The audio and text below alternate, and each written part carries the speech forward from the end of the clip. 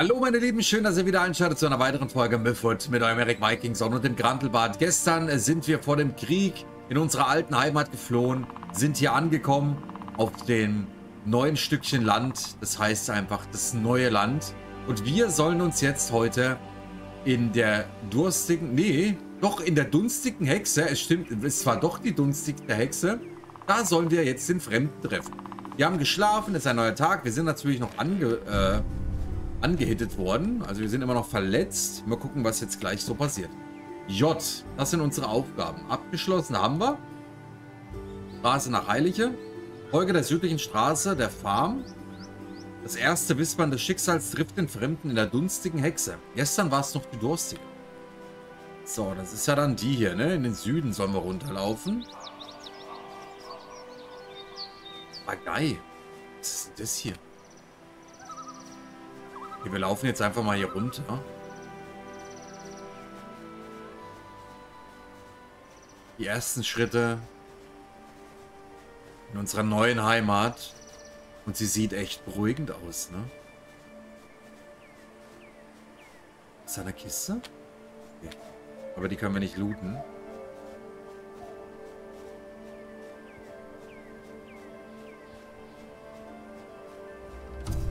Okay, wir haben auf jeden Fall Helleiche gefunden und die haben 10 Überleben gekriegt. Hier ist ein Buch. Ein Leitfaden. Dies, meine lieben Leser, ist ein echter Service für euch. Ein Geschenk, wenn ihr es so wollt. Von meinen unaufhörlichen Erkundungen und akademischen Forschungen in allen Ecken der freien Lande. In meiner Großzügigkeit habe ich mich intensiver mit der örtlichen Geologie befasst und die Verteilung natürlicher Ressourcen quer durch das Land aufgezeichnet. Wahrscheinlich dieses Unterfangen, äh, wahrlich, dieses Unterfangen ist so uneigennütz wie lobenswert, würdig zahlreicher Lorbeergrenze und Auszeichnungen.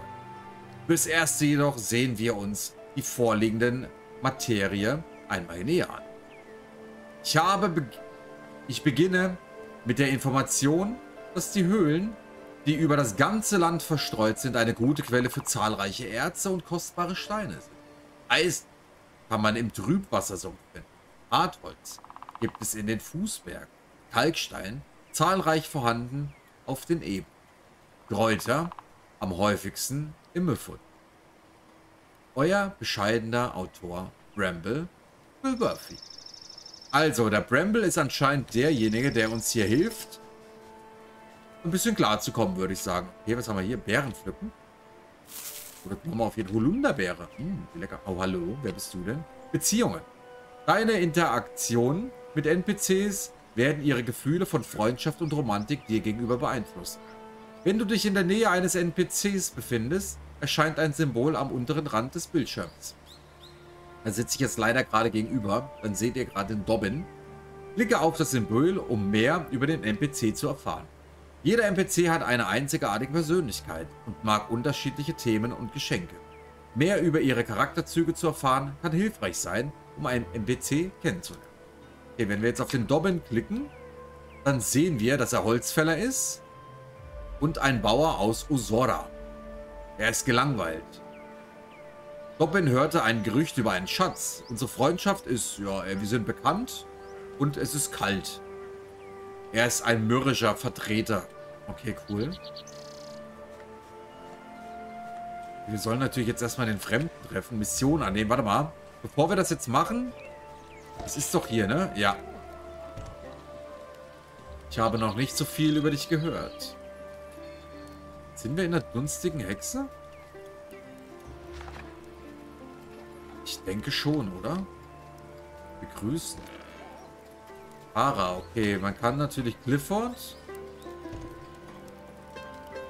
Das ist ein Musiker. Wir lesen. Ich habe ein Buch jetzt mitgenommen. Ja, anscheinend kennen wir das schon. Slena. Mission annehmen. Ah, okay. Gut. Nach oben gehen.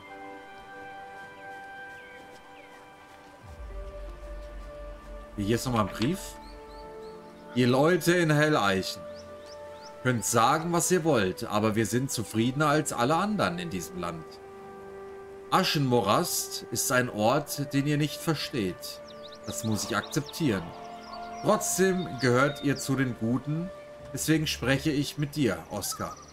Um auf deine Frage zu antworten, ich habe auch gehört, dass der Steinbruch in Kargfelsen übernommen werden soll. Keine Überraschung, oben an der Werk äh, Wegkreuzung waren ja ohnehin schon nicht viele. Nun, ich wünsche Ihnen das Beste. Diese Banditen sind einfach grässlich. Okay, das ist natürlich jetzt sehr viel, was uns da hier in die Köpfe reingeht. Ich muss nur mal gucken, ob ich den jetzt auch finde hier, mit dem ich da reden soll. Ist es denn die dunstige Hexe? Was muss sie ja sein? Wir sprechen mal mit ihm. Ah, dich kenne ich noch nicht. Wenn mich meine Augen nicht täuschen, willkommen bei Moor und Dornbusch. Ich bin Clifford, aber die meisten nennen mich Cliff Flammenbart. Wobei, man mich eigentlich doch eher den roten Riesen nennt. Kann ich dir ein Bier anbieten, Fremdling? Ähm, ist nett von dir, aber ich muss erstmal in die dunstige Hexe. Hier haben wir hier ein Schild. Westlich zum Mordorn südlich zur dunstigen Hexe. Okay, dann hier runter anscheinend. Hier wird gerade gemimt anscheinend irgendwas. Was ist denn die dunstige Hexe? Hier ist ein Bauernhof. Ich weiß nicht, ich weiß nicht. Ich glaube, hier sind wir schon zu weit, ne?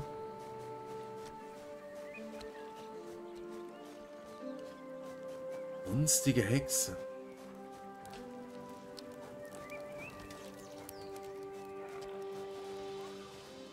Das könnte doch sein, oder? Hazy Hack. Da ist der Fremde aber. Ich stelle fest, du hast meinen Brief und die Urkunde gelesen, wie ich annehme. Ich bete, dass es keine Zumutung ist. Auch wenn das Herrenhaus eine Ruine ist, so wette ich, doch dass du ihm neues Leben einhauchen kannst. Leider werden hier in den sogenannten freien Landen Steuern fällig. Solche Angelegenheiten sind jedoch unbedeutend. Ich habe etwas, das sich noch dringender mit dir besprechen muss. Allerdings nicht hier. Wir müssen uns an einem abgeschiedenen Ort unterhalten, weit entfernt von neugierigen Ohren. Wenn du Zeit, äh, wenn die Zeit ist, werde ich einen Boten mit Anweisungen zu dir schicken wo auch immer du sein wirst.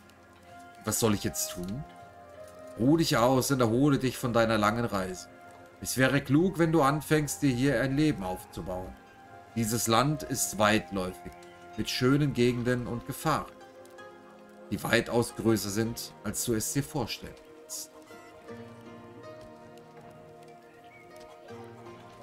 Sag mir, wer du bist. Dies werde ich noch nicht erhöhen. Und ich bitte also daher um dein Vertrauen. Wenn der Moment gekommen ist, wird dir alles offenbart werden. Was genau müssen wir denn besprechen? Sagen wir mal Angelegenheiten der Schöpfung, aber hier unterhalten wir uns nicht darüber.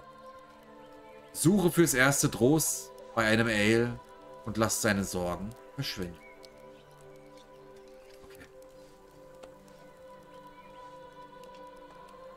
Gespräch beenden.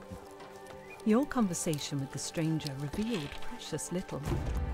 I ask for your trust, but is there reason to give it? Yet you have a place to rest, and with some effort, one you may even call home. For now you await word, and whatever may follow in its wake. auf jeden Fall jetzt was dazu gewonnen. Unsere nächste Mission wäre Schatten der Erwartung. Warte auf den Brief. Nicht mit dem Gastwirt. Okay. Dann werden wir jetzt die machen, mit dem Gastwirt sprechen. Dann gehen wir nachher erstmal nach Hause. Den Gastwirt haben wir ja schon gesehen, ne? Stand da jetzt stehlen? Ja. Also stehlen machen wir auf keinen Fall. Mit dem Gastwirt sprechen. Ach, dann ist hier leuchtend. Jetzt sehe ich das. Ah, okay. Okay, wen haben wir hier? Den Clifford. Wir sind bekannt kalt und er ist schnell. Er hat auch ein was über einen Schatz gehört, okay. Die sehe ich nicht. Die erschrecken sich gerade gegenseitig. Sehr schön. Ah, dich kenne ich noch nicht. Das haben wir jetzt gehabt, ne? Über die freien Lande. Jawohl. Diese Lande sind leider nicht so frei, wie wir gehofft hatten. Überall finden sich Leute in Not. Aber jeder kann tun und lassen, was er oder sie will. Es gibt niemanden, der einen rumkommandiert. Kann ich dir einen Rat geben? Sei frei, munter, aber vorsichtig. Über Helleiche. Die Stadt ist noch jung, aber durchaus tüchtig. Handel und Vermögen gibt es in Helleiche, wobei uns das Geschäft seit kurzem Probleme bereitet. Die Leute hier haben Anstand. Wir sind weniger schräg als die aus Aschenmorast. Ist ein geiler Name. Der Fremde. Nee, jemand Maskierten habe ich hier nicht gesehen. Sicher, dass du dich nicht wo an den Kopf gestoßen hast, Freund? Wobei ich zugeben muss, hier treibt sich so gern so manche Gestaltung. Ich rate dir, in den kuscheligen kleinen Gaststätte zu bleiben. Worte zum Handeln. Jetzt, da du wieder putzmunter bist, sieh dich doch mal im Nordtal Bauernhof nördlich der Stadt um. Sprich mit Kimberly, ein guter Ort für Saat- und Farmgut. Aber wer genug Moos hat, findet auch andere gute Händler in der Stadt. Haben wir natürlich nicht, ne? Gut, dann sollen wir jetzt hier raus und zu Kimberly gehen.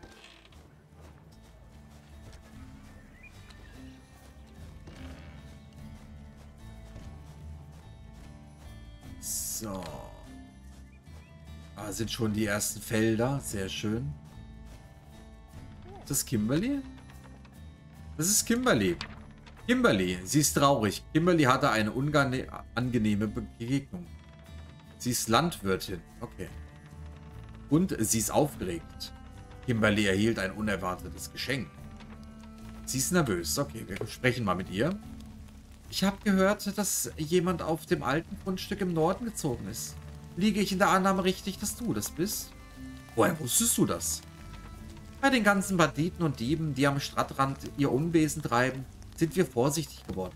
Die freien Lande sind immerhin Heimat für alle Arten von Personen. Gute Leute und Gesinde. Wo kann ich Saatgut kaufen?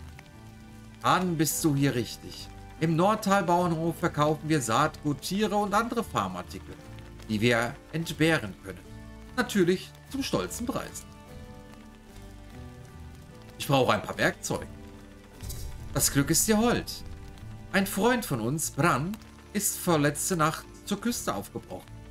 Hatte wohl die Schnauze voll von der Unabhängigkeit und bevorzugte wohl die Fuchtel des Adels. Armer Kerl. Ließ seine Karren und seine Kiste samt Werkzeug einfach am Straßenrand liegen. Ich danke dir, Püppi. Wo war das? Das muss hier irgendwo sein. Straßenrand.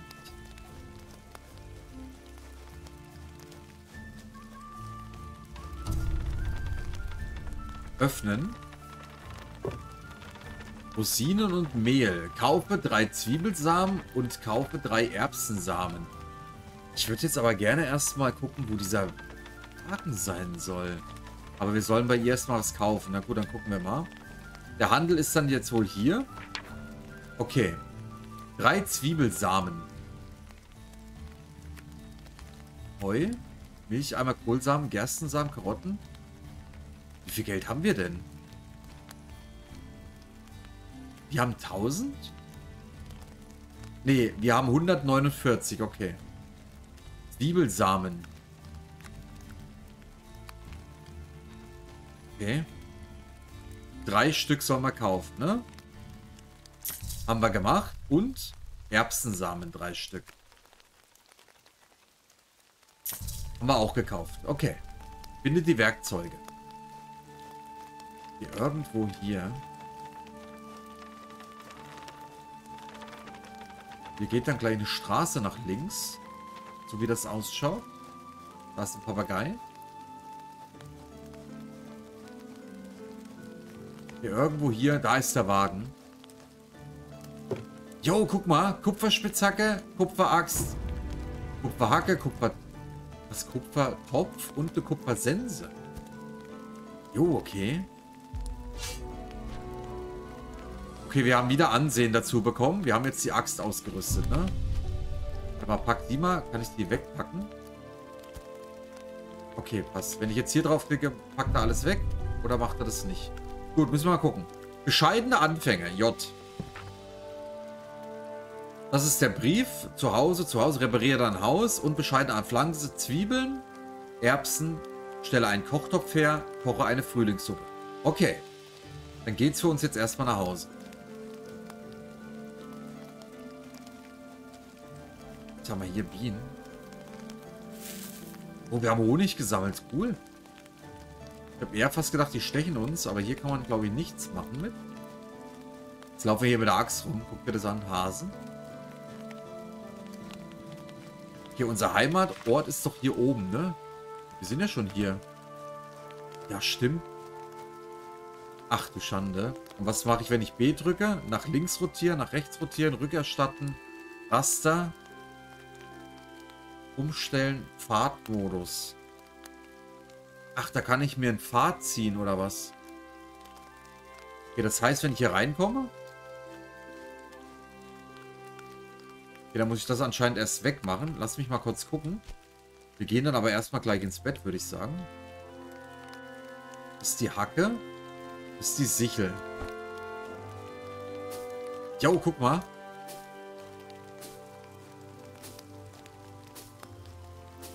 Dann machen wir uns erstmal den Weg nach Hause. Alter Schwede.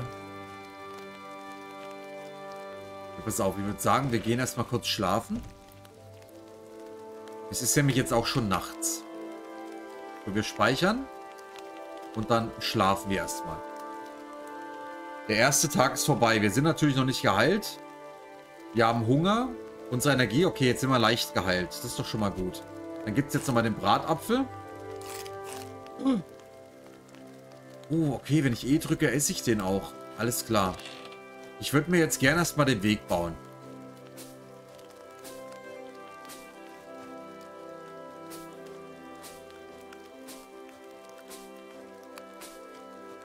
So.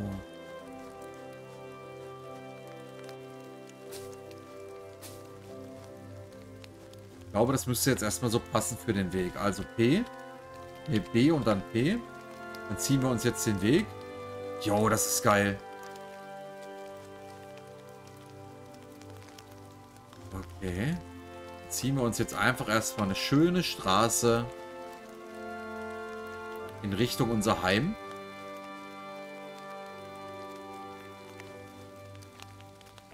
Weißt du, dann haben wir erstmal so, zwar so einen Dreckweg. Aber oh, ich finde das, das finde ich schon geil. Das gefällt mir sehr gut. Gut. Dann gehen wir mal aus dem Baumenü raus und nehmen wir unsere, unsere Axt. Machen wir die Zweige hier mal weg. Wachsen die jetzt immer dann? Okay, die kann ich jetzt einmal komplett dann entfernen. Gut. Was haben wir denn für eine Aufgabe? Wir haben gar keine ausgewählt bescheidene Anfänge. Dann würde ich die nehmen, dass wir mit denen anfangen. Und dann mal gucken, wo wir als allererstes dann äh, mal unsere Sachen hinpflanzen. So. Nutzen. Bauernhof. Schnellreisen, okay. Die Handwerk, äh, Handwerk, äh, die Werkbank, Handwerkbank. Nutze die Werkbank, um Gegenstände für einen Bauernhof herzustellen. Mit Hilfe der Werkbank kannst du Stationen, Gebäude, Dekorationen und Lagerbehälter herstellen. Nutze Tab oder I, um hergestellte Gegenstände aufzunehmen und zu platzieren. Alles klar. Kochtopf. Wir sollen ja einen Kochtopf herstellen. Dafür brauchen wir Stein und Holz. Okay. Ich würde erstmal anpflanzen jetzt gerne. Wo würden wir dann unsere Sachen anpflanzen? Ich würde sagen, so hier raus, oder? Dann machen wir doch jetzt erstmal ein bisschen was frei hier. Wir ziehen uns dann einfach nochmal so einen Weg rein.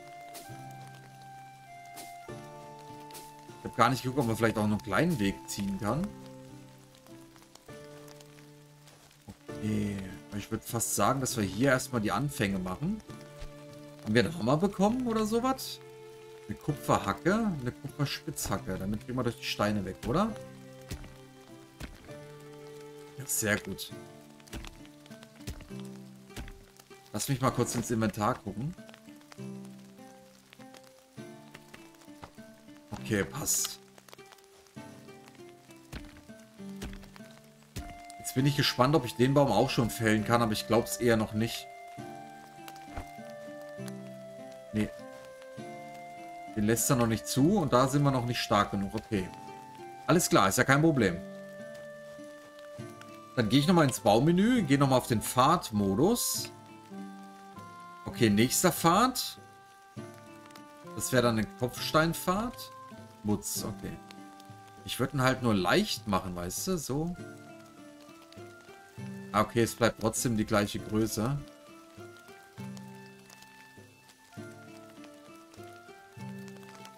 Okay, dann würde ich es so machen.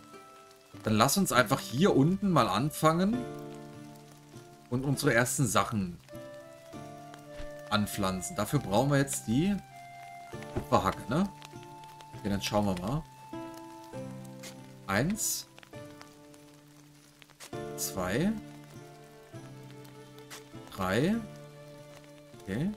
Lass mal eins frei machen. Hier eins. Zwei. Und drei. Okay. Dann brauchen wir unseren Beutel.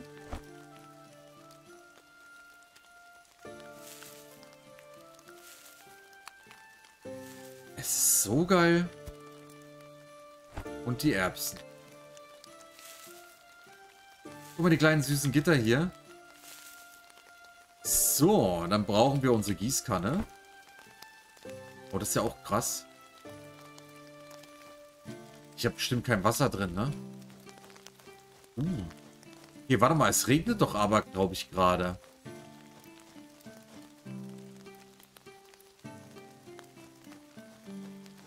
Wie sehe ich, ob in der Kanne Wasser ist?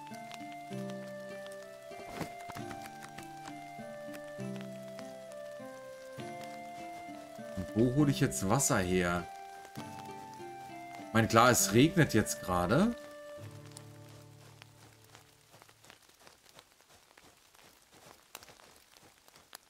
Uns einen Brunnen herstellen, dann würde ich jetzt mal kurz gucken. Amboss, Schmelzofen, Fässchen, ein Fass. Ein ausgezeichnetes altes Holzfass, das mit Metallriemen zusammengehalten wird. Darin lässt sich Alkohol reifen. Okay. Ich sehe jetzt aber nicht die Möglichkeit... Doch hier, in Steinbrunnen. Wir bräuchten 30... Pass auf, wir bräuchten 30 Steine und 20 Holz. Dann würde ich mal sagen, fangen wir das doch mal an.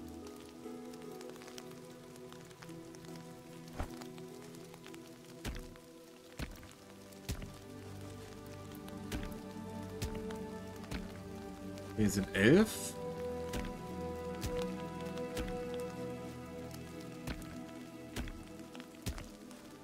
Es kann natürlich sein, dass es jetzt, weil es jetzt regnet, die schon bewässert sind. Aber den Brunnen brauchen wir ja früher oder später sowieso. Wisst ihr?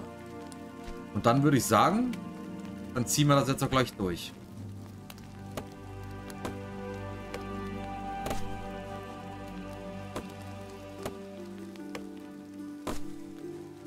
Ich würde sagen, hier brauchen wir dann sowieso keine Bäume.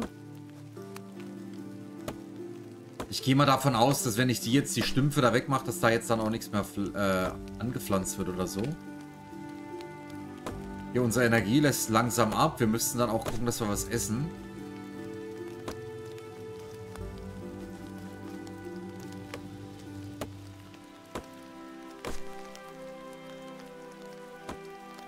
So.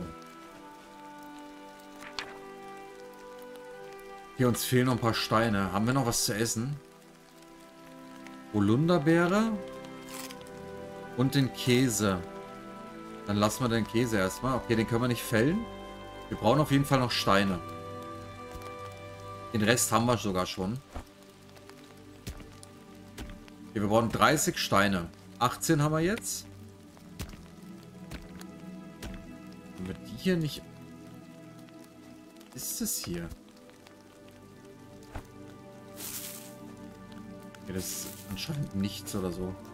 Wir haben jetzt auf jeden Fall Holz aufgenommen.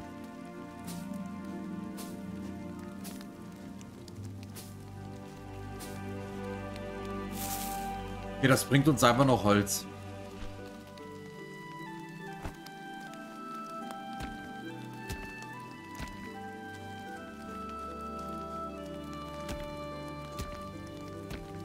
So, 26. 27. Ist das immer nur ein Stein? Auf. Ein teurer Brunnen.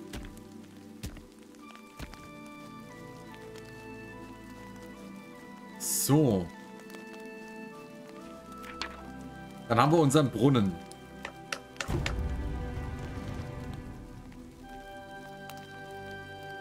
Ah, few Info.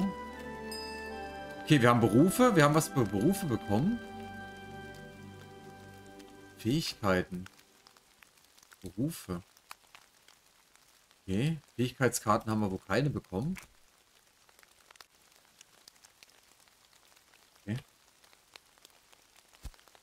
Okay, da ist unser Brunnen. Schön gemacht. Ich würde den sogar hier hinstellen. So. Dann lass mich mal kurz unsere Gießkanne nehmen.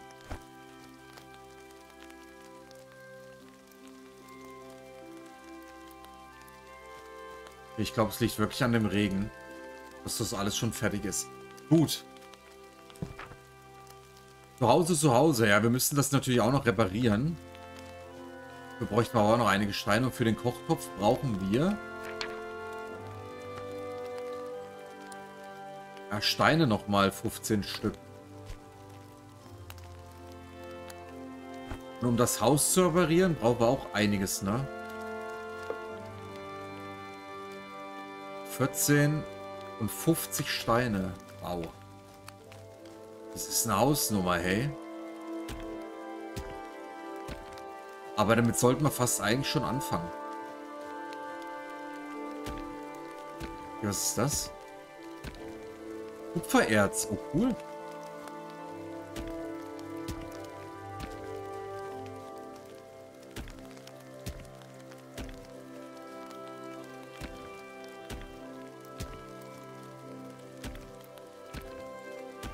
Ich hoffe mal nicht, dass unser Werkzeug irgendwann kaputt geht, aber ich glaube, dass wir einfach nur mit dem Werkzeug bestimmte Sachen äh, abbauen können und für anderes müssen wir es dann halt einfach aufwerten oder so.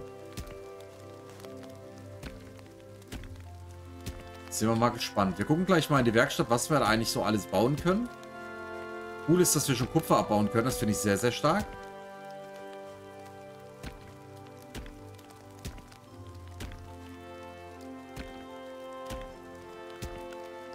Schlafen und Energie. Du wirst müde. Im Laufe der Zeit sinkt dein Energieniveau. Bestimmte Tätigkeiten wie die Verwendung von Werkzeugen oder Laufen sorgen dafür, dass dein Energieniveau noch schneller sinkt. Du kannst ein wenig Energie durch Nahrung oder Elixiere zurückgelangen oder letztendlich musst du schlafen, um deine gesamte Energie wiederherzustellen. Schlafe in Lagern, die du auf Reisen entdeckst oder bei dir zu Hause. Wenn du dich nicht ausruhst, fällt deine Figur in Ohnmacht. Hier haben wir noch Essen. Wir haben noch Honig. Würden jetzt auch nehmen. Wir haben noch Met. Wollen wir? Uh, das hat nicht, das hat nicht viel gebracht. Wir haben jetzt einfach alles mal gegessen. Wir werden auf jeden Fall mobblig, habe ich das Gefühl gerade. Vielleicht sollten wir auch ein Nickerchen machen. Was bringt uns so ein Nickerchen? F. Okay, das ist eine Stunde, aber das bringt uns nicht viel, ne? Ja, doch, komm. So ein bisschen hat es ja gebracht. Wie viel haben Steine? Wir haben jetzt 30 Steine. Wir brauchen 50, ne? Wow. Aber da hätten wir vielleicht schon mal, ich würde sagen, wir fangen mit dem Innenbereich an. Es hat jetzt auch aufgehört zu regnen.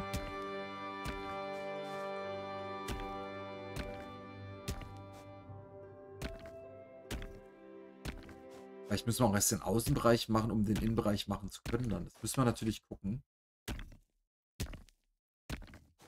Musik ist leiser geworden. Reparieren. Die sammeln. Wille. Okay, cool. Für Kamillentee. Ja, da müssen wir natürlich auch gucken, was können wir alles noch sammeln. Das sind wir zu schwach für. Okay, wir haben jetzt schon mal 44 Steine. Wie viel kommen hier raus? 45. Du kriegst manchmal mehr, manchmal weniger, ne? Sehe ich gerade so. Kommt auf die Größe an. Siehst du 48? Das ist auch nochmal ein großer. Das wird jetzt bei 50 sein. 51. Okay, dann brauchen wir jetzt noch Holz. So, 18. Die lasse ich jetzt einfach mal stehen. Ich denke mal, dass die nachwachsen werden. Ja, dann reparieren wir das dann doch, wenn es geht, von innen. Und wenn das nicht funktioniert, machen wir es einfach von außen. Und dann würde ich sagen, kümmern wir uns hier morgen, kümmern wir uns um den Kochtopf. Ich nehme jetzt einfach mal 50 mit.